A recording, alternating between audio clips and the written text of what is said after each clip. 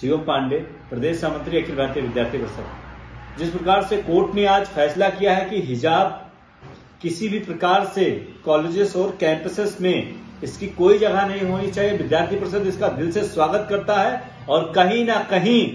ये उन लोगों के मुंह पे तमाचा है जो इस प्रकार से कॉलेज कैंपस में धार्मिक आधार पे लोगों के वैध भूषा को अपना राजनीतिक हथियार बनाते थे कोर्ट के फैसले का हम स्वागत करते हैं बहुत बहुत धन्यवाद